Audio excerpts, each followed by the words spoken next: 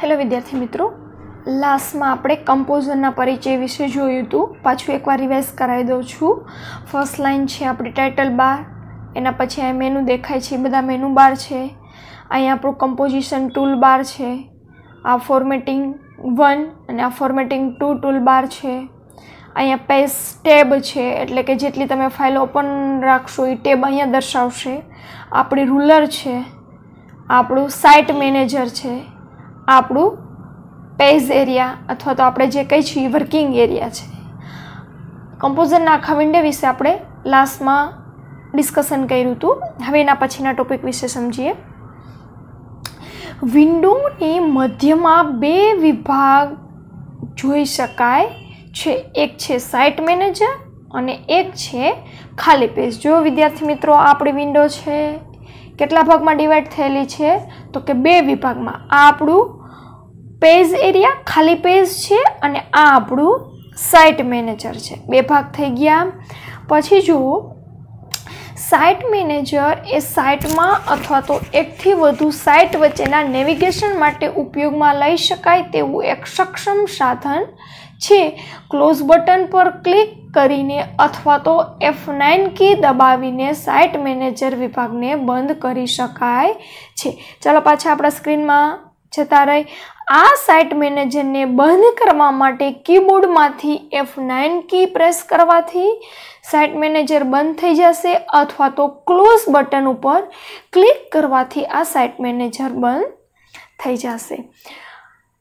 પછી છે વિન્ડોની નીચે આપણે જમણી બાજુના ભાગમાં ત્રણ મોડ સાથેનો એક એડિટ મોડ ટૂલબાર બતાવેલો છે, જેમાં નોર્મલ, એચટીએમએલ ટેબ અને પ્રિવ્યૂ મોડ. ચાલો, હવે વિન્ડોની જમણી બાજુએ આપણે જતા રહી. ચાલો, આ વિદ્યાર્થી મિત્રો યાદ રાખજો, કમ્પોઝર પૂછી શકે છે, કમ્પોઝરની જમણી બાજુએ કયો મોડ આવેલો છે, તો કે એડિટ મોડ. અહીંયા ક્લિક કરતાં તમને નોર્મલ એચટીએમએલ ટેગ અને પ્રિવ્યૂ મોડ એવા ત્રણ બટન અહીંયા તમને જોવા મળશે. પછી તમને કીધું છે, જુઓ કે પેજ પેનની ડાબી બાજુ ત્રણ ટેબ આવેલા છે, ડિઝાઇન, સ્પ્લિટ અને સોર્સ. ચાલો, એ જુઓ. આ આપણી ડાબી બાજુ. વિદ્યાર્થી મિત્રો, જમણી બાજુ કે ત્યારે આપણે એડિટ મોડના ત્રણ પોઈન્ટ્સ યાદ રાખવાના છે, જેમાં નોર્મલ એચટીએમએલ ટેગ અને પ્રિવ્યૂ મોડ છે. જ્યારે આપણે જમણી બાજુની વસ્તુ કહેશે, ત્યારે આપણે કઈ વસ્તુ યાદ રાખવાની રહેશે? તો કે ડિઝાઇન સ્પ્લિટ્સ અને સોર્સ બરાબર? આ આપણી પેજની ડાબી બાજુ ત્રણ બટન આવેલા છે. ત્રણ મોડ જોવા મળે છે. જ્યારે એડિટ મોડ આપણે જમણી બાજુ દર્શાવ્યો છે. ઓકે? કેમ કે એમસીક્યુમાં પૂછી શકે જમણી બાજુ શું છે અને ડાબી બાજુ શું છે. તો કે જમણી બાજુ આપણે એડિટ મોડ આવેલો છે અને ડાબી બાજુ ત્રણ ટેબ આવેલા છે જેમાં ડિઝાઇન, સ્પ્લિટ અને સોર્સ. ઓકે? હવે જુઓ વેબ પેજની રૂપરેખા તૈયાર કરવા માટે ડિઝાઇન વિભાગનો ઉપયોગ કરવામાં આવશે. એટલે કે નીચે જે તમને દેખાડે છે, ડિઝાઇન વિભાગમાં શું હશે? તો કે તમે વેબ પેજ તૈયાર કરશો, એની ડિઝાઇનિંગ હશે. ચાલો વર્તમાન ઘટકના એચટીએમએલ સોર્સને સ્પ્લિટ વિભાગમાં દર્શાવવામાં આવશે. એટલે વર્તમાન એટલે અત્યારે તમે જે ઘટકનો ઉપયોગ કરતા હોય તો એ ઘટક તમને ક્યાં જોવા મળશે એચટીએમએલના? તો કે સ્પ્લિટ વિભાગમાં. અને એચટીએમએલ ઘટકના તમામ વિગતો સોર્સ વિભાગમાં દર્શાવવામાં આવશે. એનો મતલબ કે એચટીએમએલના હરેક ઘટકનું કોડિંગ તમને સોર્સ વિભાગમાં જોવા મળશે. ડિઝાઇનથી તમારું વેબ પેજ કેવું બનશે, એની તૈયારી ડિઝાઇનમાં થશે, સ્પ્લિટમાં તમે એચટીએમએલ સોર્સમાં જે ઘટક લીધા હશે એ દેખાડશે અને સોર્સમાં એચટીએમએલના જે પણ ઘટક તમે લીધા છે, એનો બધો સોર્સ કોડ અથવા તો એનું બધું કોડિંગ દર્શાવશે. હવે તો કે નોર્મલ એચટીએમએલ ટેગ અને પ્રિવ્યૂ મોડ વિશે પણ જોઈ લઈ પ્રિવ્યૂ મોડ બ્રાઉઝરમાં જોઈ શકાય તે પ્રકારનો પાનાનો દેખાવ દર્શાવશે. પ્રિવ્યૂ મોડથી શું થશે, વિદ્યાર્થી મિત્રો?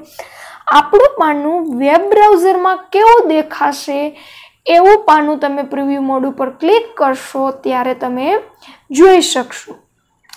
તફાવત એ છે કે પ્રિવ્યૂ મોડમાં સ્ક્રિપ્ટનો અમલ કરવામાં આવતો નથી. શા માટે? કેમ કે બ્રાઉઝરમાં કોઈ પણ પ્રકારનું લખાણ કે કોડિંગ તમારે સ્ક્રિપ્ટ લખવાની નથી. અને તેથી તેની અસર દર્શાવવામાં આવતી નથી. પ્રિવ્યૂ મોડમાં લિંકનો અમલ પણ કરી શકાતું નથી. એટલે લિંક પણ આપણે પ્રિવ્યૂ મોડમાં મૂકી શકશું નહીં. નોર્મલ વ્યૂ એ પ્રિવ્યૂ મોડ જેવો જ છે. વિદ્યાર્થી મિત્રો, યાદ રાખો, ઘણીવાર પૂછી શકે કે નોર્મલ વ્યૂ એ નીચેનામાંથી કયા મોડ જેવો છે? તો કે પ્રિવ્યૂ મોડ જેવો. આ મોડમાં કોષ્ટકની સીમારેખા દર્શાવવામાં આવે છે. જેઓ એસટીએમએલથી પરિચિત છે, તેવા ઉપયોગકર્તાને એચટીએમએલ ટેગ વ્યૂ મદદ બને છે.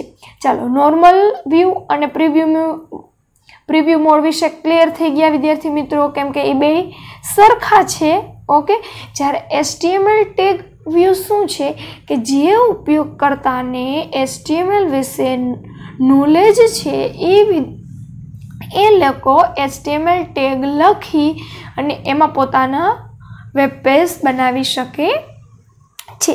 તમામ ટેગની શરૂઆત દર્શાવવા માટે પીળા રંગના નિશાનનો ઉપયોગ કરવામાં આવે છે. એટલે કે તમે એચટીએમએલ ફોર્મના આપણે ઘટકો આગળ જોશું ટેક્સ્ટ બોક્સ ચેક બોક્સ બરાબર? એ જે બી ઘટકો તમે લેશો, એને પીળા રંગના સિમ્બોલથી દર્શાવવામાં આવશે. આ નિશાની પર ક્લિક કરવાથી ઘટકના સમગ્ર વિભાગને પસંદ કરી હાઇલાઇટ પણ કરી શકાય છે.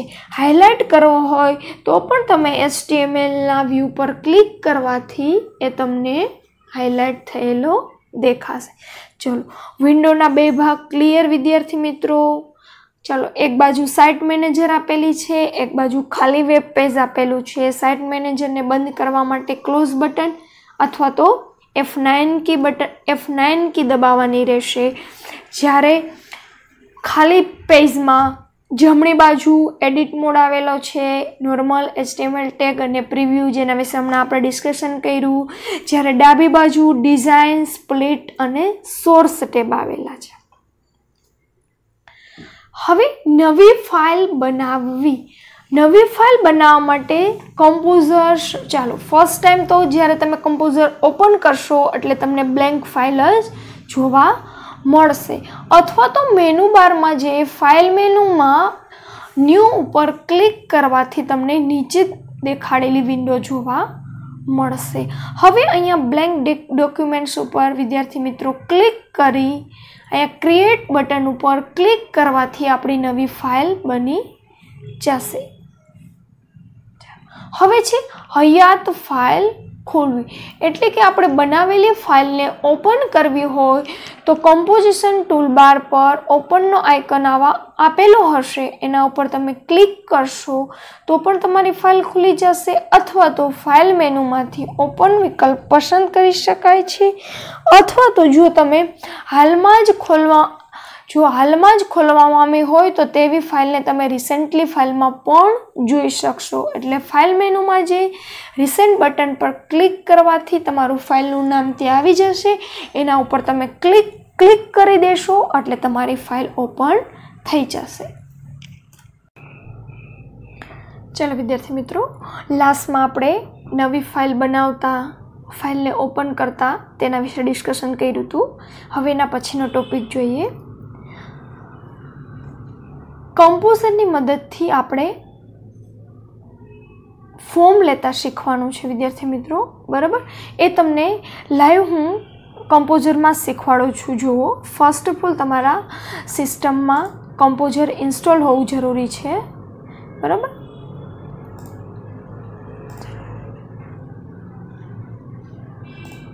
હવે અહીંયા તમને કીધું છે, વિદ્યાર્થી મિત્રો, કે ઇન્સર્ટ મેનુમાંથી ફોર્મ ઉપર ક્લિક કરશો એટલે ડિફાઇન ફોર્મ ખુલશે અને એમાં તમને આવી વિન્ડો જોવા મળશે.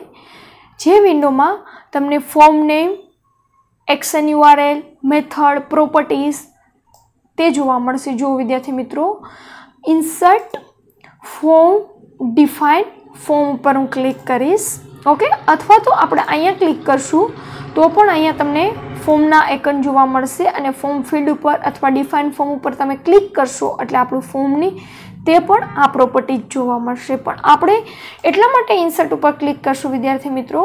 ઘણીવાર આ ટૂલ બારમાંથી અમુક ટૂલ્સ આપણે એને કાઢી શકીએ છીએ. તો આ વસ્તુ અહીંયા તમને ડિસ્પ્લે નો પણ થઈ હોય, પણ અહીંયા મેનુમાંથી એ વસ્તુ ક્યાંય જતી નથી. એટલે ઇન્સર્ટ, ફોર્મ, ડિફાઇન ફોર્મ ઉપર હું ક્લિક કરીશ.